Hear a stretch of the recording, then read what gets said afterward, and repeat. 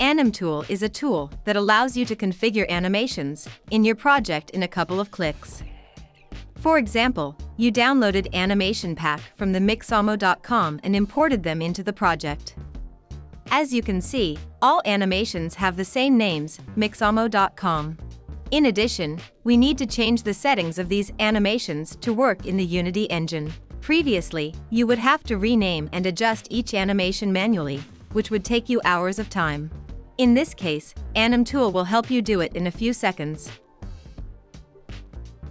It allows you to set up and rename all animations in one pass. You can simply set a renaming pattern and settings that apply individually to all animations.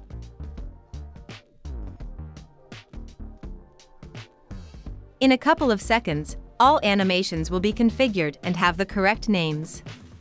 The Anim tool works with any animations.